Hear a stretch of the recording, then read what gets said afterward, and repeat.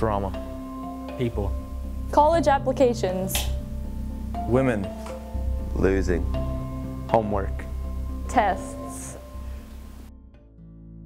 Sports. Music. Going on a run. Winning. Football. Ice cream.